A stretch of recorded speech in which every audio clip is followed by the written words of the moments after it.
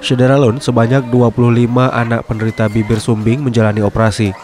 Operasi gratis yang digelar Smile Train Aceh ini berlangsung di Rumah Sakit Malahayati, Banda Aceh. Mereka yang dioperasi merupakan anak-anak dari berbagai kabupaten kota di Aceh dengan melibatkan Dr. Jailani dan Dr. Frank Betra Bukari.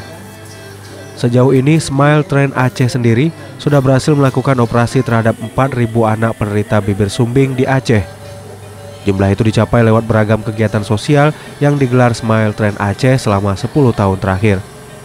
Sebaliknya, penderita bibir sumbing masih saja ditemukan di Aceh dengan rata-rata perbandingan 3 dari 100 anak yang lahir. Selama ada pasien yang masih kami dapatkan yang masih belum baik, belum bagus, dan bila masih belum belum baik, kami akan uh, koreksi sampai mendekati normal.